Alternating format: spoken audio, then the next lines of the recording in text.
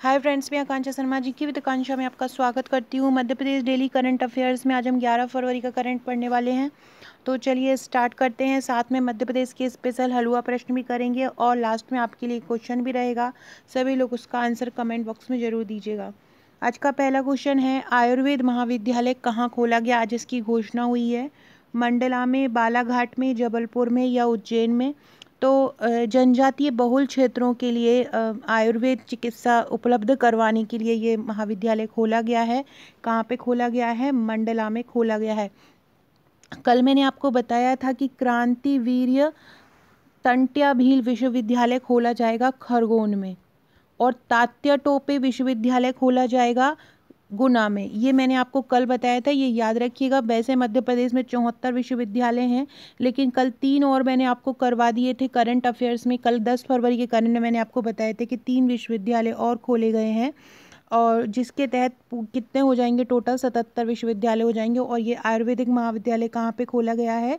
तो ये खोला गया है मंडला जनजाति वर्ग को आयुर्वेद चिकित्सा उपलब्ध कराने के लिए ये खोला गया। अगला है, दस फरवरी को जनजातीय सम्मेलन कहाँ हुआ? देखो, जनजातीय सम्मेलन हो रहा है, जिसमें आज ग्यारह फरवरी को मोदी जी भी इसमें आने वाले हैं। पंडित दीनदयाल उपाध्याय जी की पुण्यतिथि भी 10 फरवरी को ही पड़ती है, जो समर्पण दिवस के रूप में मनाई जाती है। तो ये जनजातीय सम्मेलन कहाँ पर होगा? झाबुआ में, बालाघाट में, अलीराजपुर में या मंडला में तो 10 फरवरी को जो जनजातीय जनजातीय सम्मेलन हुआ, वो कहाँ पर हुआ? झाबुआ में हुआ। झाबुआ में मोदी जी ने जो जनजातीय लोग हैं, उनको संबोधित किया। तो क्या बोल रही थी मैं? दीनदयाल उपाध्याय जी की पुण्यतिथि मनाई जाती है दस फरवरी को, और समर्पण दिवस के रूप में इनकी पुण्यतिथि को मनाया जाता है। इनका जो एकात्म मानववाद का दर्शन है, वो हमारे लिए पाते हम उसके मार्गदर्शन पर चलते हैं।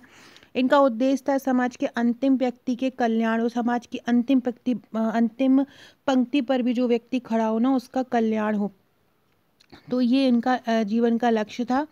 इसी के मद्देनज़र ये जो झाबुआ में जनजातीय सम्मेलन इन्हीं की पुण्यतिथि पर आयोजित हो रहा है। प्रधानमंत्री मोदी जी ने विकसित भारत के चार अमृत स्तंभ के तहत ज्ञान दिया है। ये याद रखना, ये एग्ज़ाम में आ सकता है। विकसित भारत के चार अमृत स्तंभ हैं। याद रखना, ये चार अमृत स्तंभ क्या हैं? ज्ञान। ज्ञान में जी से है गरीब। वाई से है युवा, ए से है अन्नदाता और एन से है नारी। याद रखिएगा, जी से क्या है? जी से आ जाएगा यहाँ पे गरीब, वा से क्या आ जाएगा? वा से आ जाएगा युवा, ए से क्या आ जाएगा? अन्नदाता आ जाएगा और एन से क्या आ जाएगा? नारी। इनकी इनकी आवश्यकताओं पर ज़ोर दिया और इन पर ही केंद्रित करने का अमृत स्तंभ बताया तो ये भी आपसे पूछा जा सकता है प्रधानमंत्री जी झाबुआ सम्मेलन में कौन से अमृत स्तंभ बताए? ये चार अमृत स्तंभ कौन से हैं? तो जी से गरीब बाय से युवा ए, ए से अन्नदाता और एन से नारी।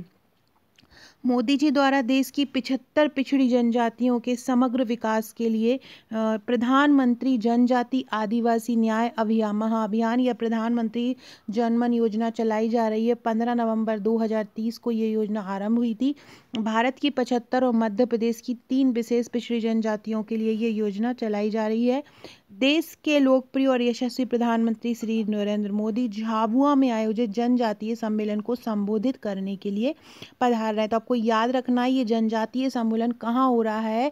तो ये जनजातीय सम्मेलन हो रहा है झाबुआ में। कहाँ हो रहा है? झाबुआ में हो रहा है।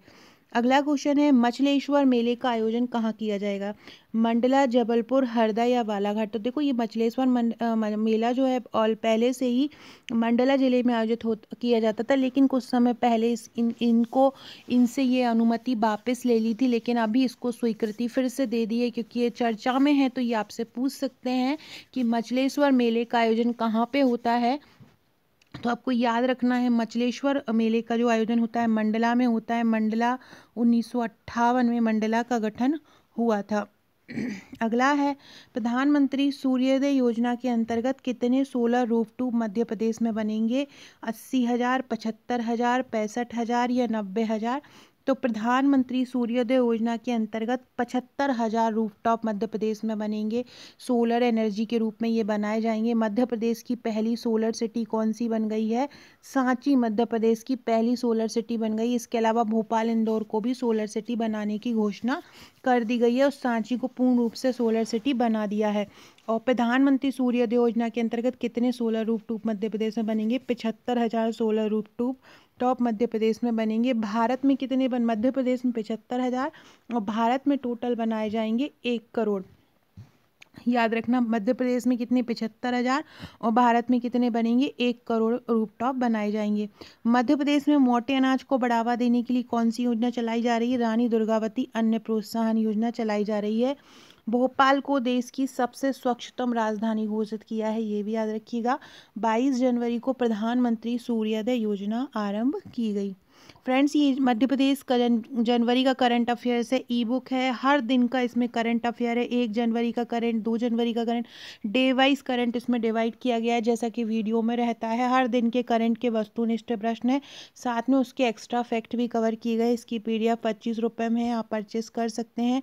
साथ में बारह तारीख से आप हमारे प्री नोट्स की बुकिंग भी करा सकते हैं। ये टोटल दस यूनिट मिलेंगी। सिलेबस के अकॉर्डिंग टॉपिक वाइज इन यूनिट को कवर किया है। जैसा जैसा सिलेबस में टॉपिक है, वैसे ही बहुत ईजी लैंग्वेज में इनको कवर किया है। इसके साथ अभी एक व्हाट्सअप का ग्रुप देंगे, जहाँ पर मेरे डेली करंट अफेयर्स की पीडीएफ आपको दी जाएगी। साथ में राष्ट्रीय अंतर्राष्ट्रीय करंट अफेयर्स आपको कराया जाएगा और भी स्टेटिक जी के यहाँ पर क्वेश्चन करवाए जाएँगे।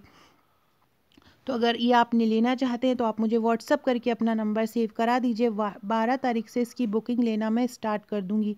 Six two six zero one nine zero nine double four ये मेरा व्हाट्सअप नंबर है। आप मुझे यहाँ व्हाट्सअप करके बुकिंग करा सकते हैं।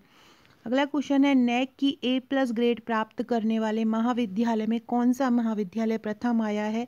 होलकर साइंस कॉलेज, इंदौर जिवाजी राव विद्यालय, इंदौर, टंट्या सॉरी जिवाजी राव विद्यालय, ग्वालियर या टंट्या विश्वविद्यालय, खरगोनी। इस टंट्या विश्वविद्यालय की स्थापना अभी कल ही हुई है, दस फरवरी को हुई है। इसको क्रांति वीर टंट्या भील विश्वविद्यालय कहा जाएगा।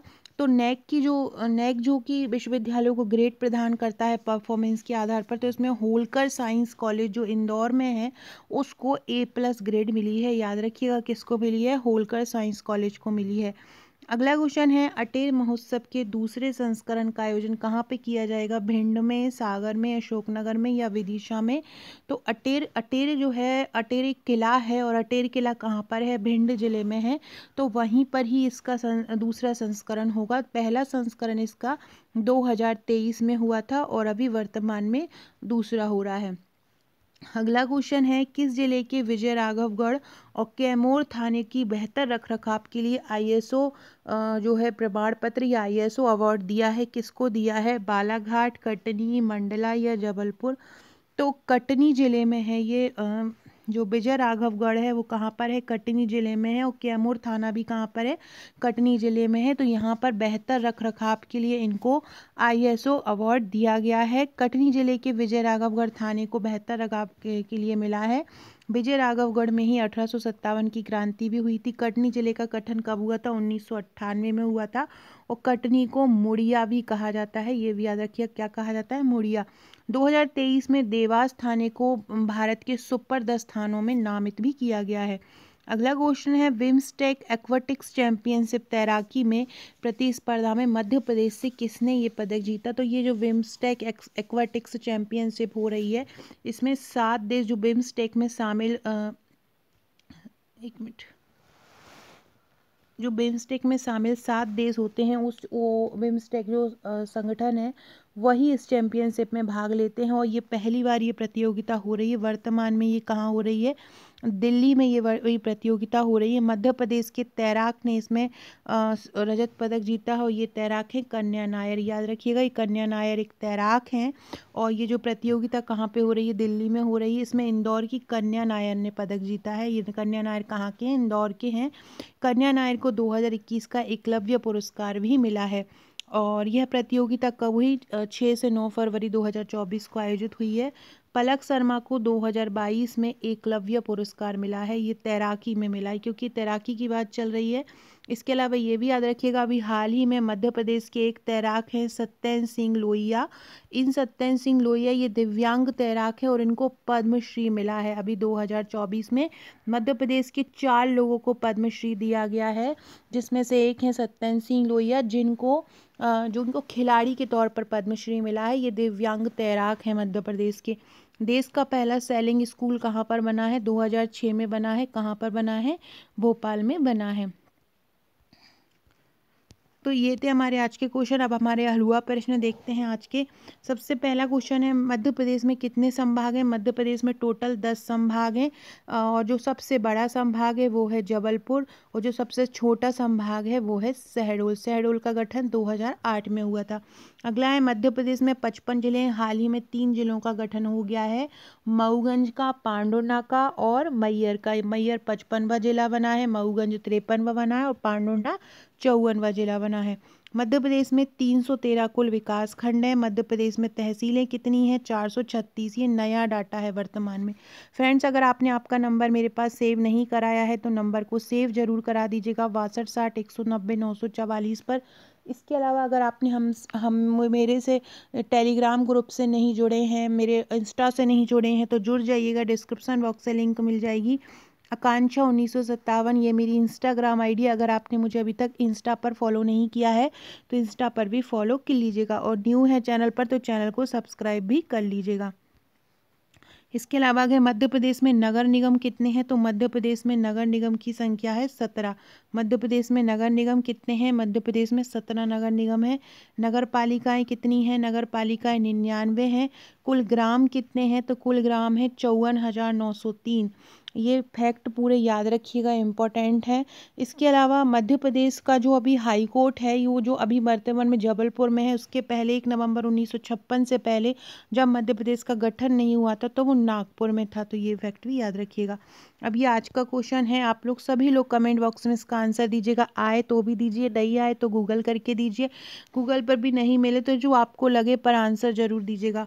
मध्य प्रदेश में औसत वर्षा कितनी है? 113 सेंटीमीटर 111 सेंटीमीटर 112 सेंटीमीटर या 110 सेंटीमीटर? सभी लोग कमेंट करके आंसर ज़रूर दीजिएगा। वीडियो अच्छी लगे तो लाइक, शेयर, सब्सक्राइब ज़रूर कीजिएगा। बारह तारीख से ही पी सीरीज़ का वीडियो मैं कंटिन्यू कर दूँगी। Okay friends thank you